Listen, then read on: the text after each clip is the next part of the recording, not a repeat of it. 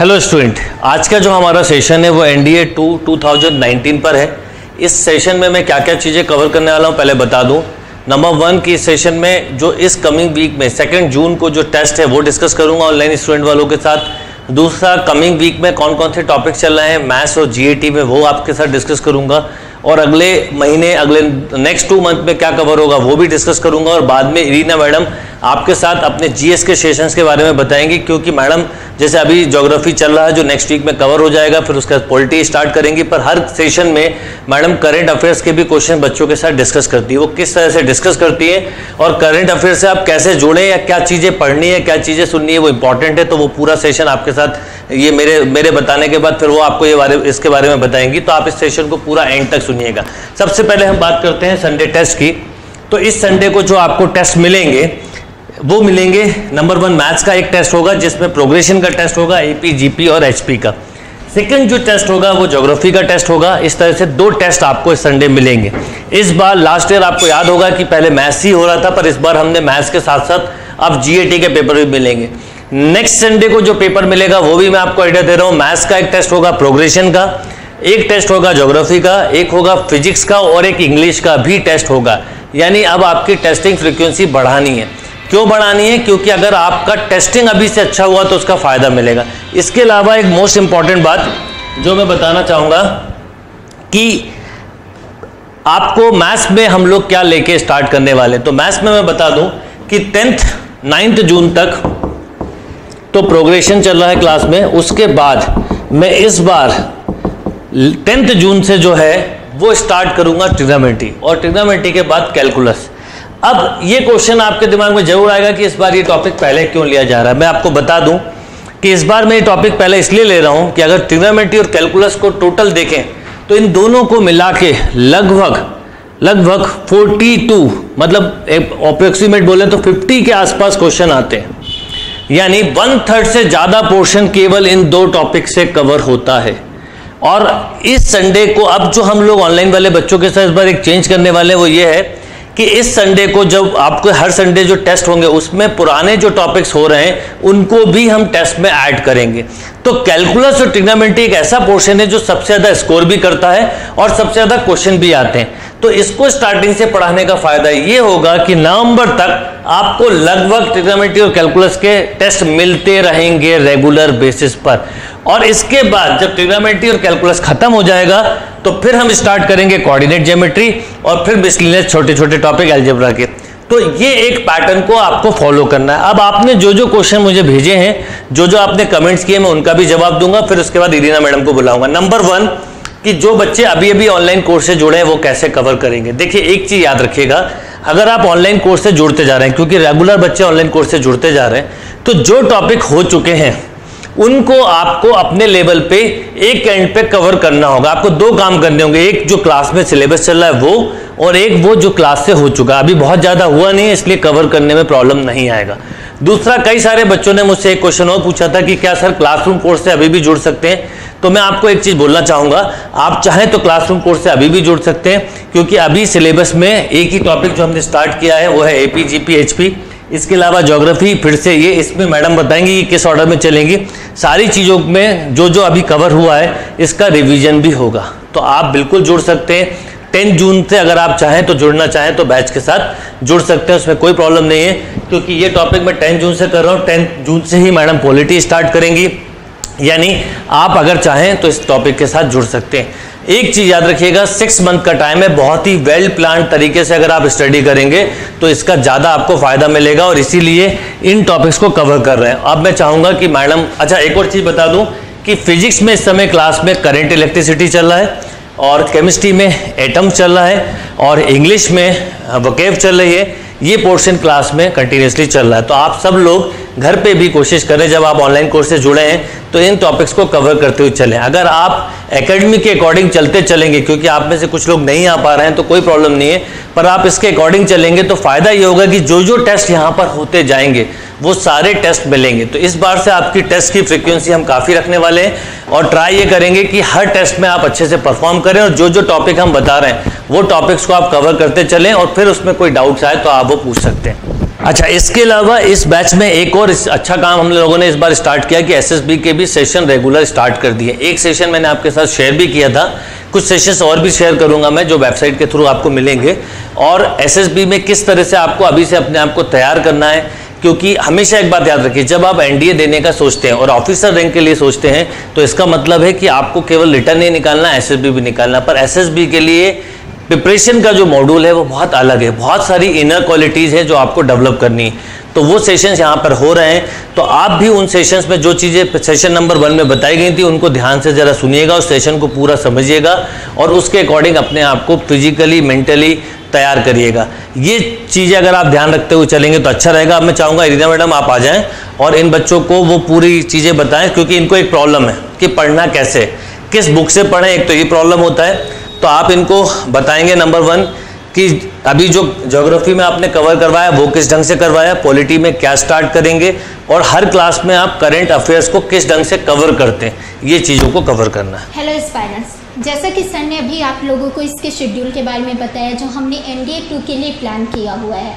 अब N D to में यदि हम गैट की बात करें, और गैट के पेपर में हम जी एस की बात करें तो जी एस को कैसे कवर किया जाएगा, ये कैसे टॉपिक्स कवर होंगे क्या क्या पढ़ना है किन किन बुक्स से पढ़ना है, इसके बारे में मैं अभी आपसे डिस्कशन करूँगी। यहाँ पे मैं सबसे पहली बात जो स्टार्ट करूँगी वो करेंट अफेयर्स से होगा।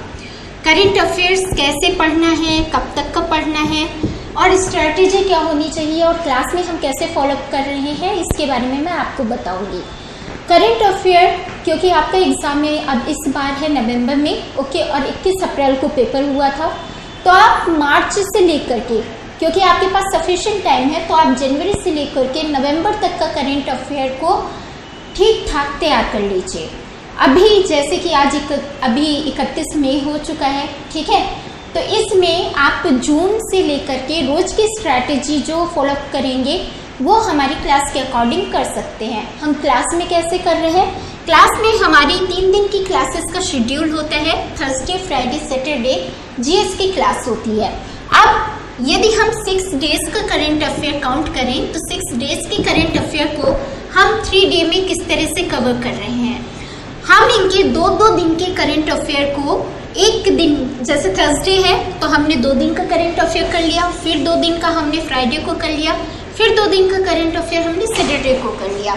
तो पूरे हफ़्ते का करेंट अफेयर हमने तीन दिन का, तीन दिन में कवर कर लिया ओके आपके पास करना क्या है?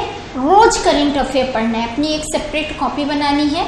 द हिंदू पेपर को देखिए। जो भी आपको ऑथेंटिक क्वेश्चन लगते हैं कि एग्ज़ाम में पूछे जाते हैं, पूछे जा सकते हैं, उन एग्जामिनेशन के पर्पस इंपॉर्टेंट क्वेश्चन को आपको कवर करना है। जैसे कि रिसेंटली करेंट अफेयर में क्या चीज़ें रही हैं? ये आपके एसएसबी के लिए भी इंपॉर्टेंट रहेगा। तो जिन लोगों का लास्ट सेशन का एसएसबी बहुत सॉरी एग्जामिनेशन बहुत अच्छा गया है, जो एसएसबी के लिए अपेयर होंगे उनको भी करेंट अफेयर में फुली फोकस होना चाहिए। फॉर एग्ज़ाम्पल करेंट अफेयर के लिए अभी क्वेश्चन आ सकते हैं, जैसे कि अपॉइंटमेंट्स जो रहते हैं, कोई आपकी सबमिट कहाँ पर हुई है? ओके नेवल एक्सरसाइजेस कहाँ पर हो रही है? आर्मी एक्सरसाइजेस कहाँ पे हो रही है? यानी डिफेंस की जो भी एक्सरसाइजेस हैं, आपकी साइंस एंड टेक की जो इन्वेंशंस हैं ओके कौन सा रॉकेट न्यूली लॉन्च हुआ हुआ है? और इस तरह से अपॉइंटमेंट डेथ अवार्ड पर्सनैलिटी इस तरह के क्वेश्चन आते रहते हैं। एसएसबी में यही क्वेश्चंस जो फैक्चुअल क्वेश्चन रहते हैं, वो एनालिटिकल क्वेश्चंस में कन्वर्ट हो जाते हैं। जैसे अभी रिसेंट बात करें तो आपको अभी हाईलाइटेड टॉपिक में दिखा होगा, फिर से एक टॉपिक जो दो सालों से चल रहा है ब्रेग्जिट ठीक है? ब्रेग्जिट में लंदन यूके के प्राइम मिनिस्टर ने रिजाइन कर दिया। अब ये ब्रेग्जिट किसने रिज़ाइन किया ये शायद ना पूछा जाए लेकिन ब्रेक्जिट क्या है? इसका ब्रिटेन के साथ साथ वर्ल्ड की इकोनॉमी पे स्पेशली यूरोपियन यूनियन पे क्या इफ़ेक्ट पड़ेगा? इस तरह की चीज़ें आपको एनालिसिस करनी चाहिए ठीक है? दूसरा एग्ज़ाम्पल लेते हैं रिसेंटली डॉक्टर पायर का okay reservation kind of caste system related उन पर कुछ आ, ऐसे रैगिंग टाइप का उन पर दोषारोपण किया गया। तो यहाँ पे एक वेल एजुकेटेड लड़की को वेल एजुकेटेड उसके साथ के लोग किसी बेस पर, जो कि कास्ट बेस सिस्टम है रिजर्वेशन सिस्टम है, इनके बेसिस पे इतना ज़्यादा टॉर्चर कर देते हैं कि वो लड़की सुसाइड कर लेती है। अब यहाँ पे करंट अफेयर्स के क्वेश्चंस कैसे बनेंगे? ये हमारा आर्टिकल जो कॉन्स्टिट्यूशन में इक्वालिटी का राइट दिया गया है आर्टिकल नंबर 14 से 18 तक का, ठीक है? उसके अलावा हमारे सिस्टम में जो सोशियो इकोनॉमिक इक्वालिटी की बात की जाती है, जो एस एस टी की एक्स्ट्रा रिजर्वेशन के अलावा प्रोजेक्ट्स चलाए जाते हैं तो इस तरह की चीज़ें कितनी बेनिफिशियल सोसाइटी में रियलिटी में उनको मिल रही है या समाज में इसकी वजह से क्या निगेटिव इफ़ेक्ट पे लोग क्या एनालिसिस कर रहे हैं, क्यों लोग एक्सेप्ट नहीं कर पाते हैं, बहुत सारी चीज़ें हैं कि हम इन चीज़ों को एनालाइज करें कि आखिर क्यों एक क्वालिफाइड लड़की को वहाँ पे सुसाइड करना पड़ा। इस तरह के जो रैगिंग सिस्टम्स हैं, उनमें किस तरह की और कमेटी फॉर्म होनी चाहिए, नई रिकमेंडेशंस आनी चाहिए क्या क्या इस तरह के बचाव हो सकते हैं, जो समुदाय विशेष को एक प्रोटेक्शन दे, ठीक है? इसी तरह से रिसेंटली आपको पता है कि न्यू कैबिनेट को फॉर्मेशन हो चुका है है ना? नया मंत्रिमंडल गठित हो चुका है। अब प्री लेवल पे तो क्वेश्चंस होंगे, कौन से मंत्री को कौन सा विभाग मिला है, कौन सा डिपार्टमेंट किस मिनिस्टर को ने ऑक्यूपाई किया है। लेकिन साथ में ही आपको न्यू पॉलिटी के पर्पस व्यू से कि ये जो मिनिस्ट्रीज होती हैं ओके जो हमारी पार्लियामेंट्री सिस्टम है इंडिया में, जो हमारी डेमोक्रेसी है, वो किस तरह से रन करती है पार्लियामेंट क्या होता है, लोकसभा क्या है, राज्यसभा क्या है, इस तरह के क्वेश्चंस को थोड़ा सा देख लेना पॉलिटी पॉइंट ऑफ़ व्यू से। और साथ में इंडिया में जो डेमोक्रेटिक कितने बड़े लेवल पे इतना बड़ा इलेक्शन ऑर्गेनाइज करना डेमोक्रेसी जो वर्ल्ड की सबसे बड़ी हमारी इंडिया की, ठीक है, वो डेमोक्रेसी के जो बेनिफिट्स हैं, इन सब के बारे में आपको एक एनालिसिस क्रिएट करके रखना चाहिए, ठीक है? तो अभी हमने तीन टॉपिक देखे, एक ब्रेग्जिट का टॉपिक एक डॉक्टर पायल से रिलेटेड रिजर्वेशन और कास्ट और रैगिंग सिस्टम। और तीसरा, हमने जो न्यू कैबिनेट फॉर्म हुई है इंडिया का, जो डेमोक्रेसी है, उसके बारे में एनालिसिस तो ये एसएसबी के प्रिपरेशन के भी पार्ट हुए। और जो आपको डेली करंट अफेयर क्योंकि करंट अफेयर्स एक ऐसी चीज़ है जो इकट्ठा पढ़ते हैं तो रटी नहीं जाती। लेकिन रोज़ आप न्यूज़ चैनल्स देख रहे हैं, ठीक है? न्यूज़ चैनल पाँच दस मिनट का कोई भी authentic for example the nation या राज्यसभा न्यूज़ चैनल को देख लीजिए और रोज़ का न्यूज़पेपर पढ़ लीजिए तो शायद वो भी काफ़ी हद तक आपको 80 परसेंट तक हेल्प कर देगा पूरा का पूरा करंट अफेयर कवर करने के लिए क्लियर अब आगे बढ़ते हैं हम अगले सेगमेंट्स में जो हमारे जीएस के सब्जेक्ट्स हैं, जैसे कि जियोग्राफी जियोग्राफी का जो सब्जेक्ट्स हैं, इनको जो अभी क्लास में छूटा हुआ है, उसको तो आगे कवर किया जाएगा, यानी जो नए लोग इसमें से ऐड होते जा रहे हैं। जियोग्राफी में हमने इंडिया और वर्ल्ड जियोग्राफी को साथ में लेकर के चले हुए हैं, साथ में लेके पढ़ रहे हैं। आपको जो नए लोग हैं, वो लोग अभी रिसेंटली आपकी स्कूलिंग ख़त्म हुई है, आपने बहुत अच्छे से एन e को पढ़ा है, ज़्यादा भूले नहीं होंगे, केवल रिवाइज करने की ज़रूरत होगी। तो यहाँ ये एडवाइस रहेगी कि चाहे वो जियोग्राफी की बात हो, चाहे वो पॉलिटी की बात हो, चाहे वो हिस्ट्री की बात हो, इन सारे सब्जेक्ट्स के लिए आप अपना बेस बनाइए एन को, ठीक है? कौन सी बुक्स को आपको फॉलो करना है? एन क्लियर सिक्स से लेकर के ट्वेल्थ तक की आपको एन e को देखना है। साथ में यदि बेसिक बुक के बारे में आप चाहते हैं तो लिसन और कुछ भी यहाँ पे पाथफाइंडर जैसी कुछ बेसिक बुक्स हैं जो आपका बेस बनाएँगी और उनके कॉम्बिनेशन से आप अपने एग्जामिनेशन में बेहतर परफॉर्मेंस कर सकते हैं। हाँ प्रीवियस ईयर क्वेश्चंस ज़रूर देखते रहिए। क्योंकि यहाँ पे एन सी बेस्ड क्वेश्चन ज़्यादा पूछे जाते हैं। बुक्स को आपको एक बेस बनाना है, लेकिन एन e से ज़्यादा से ज़्यादा सिलेबस को कवर करने की कोशिश करनी है। स्पेशली वर्ल्ड हिस्ट्री यदि वर्ल्ड हिस्ट्री की बात की जाए, ठीक है? तो वर्ल्ड हिस्ट्री के लिए आपको एन को प्रिफर कर ही लेना चाहिए। इस साल देखा गया था एनडीए में वर्ल्ड हिस्ट्री के काफ़ी क्वेश्चंस एन से पूछे गए हैं और जनरली और बुक्स में आपको मिलते नहीं, यदि आपको फिर उसके लिए यूपीएससी लेवल की book C I S level की पढ़नी पड़ेगी। तो उतना डेप्थ में जाने की ज़रूरत नहीं है। वर्ल्ड हिस्ट्री जो कि आपने स्कूलिंग में पढ़ी हुई है, उतना फिनिश करने की कोशिश कीजिए।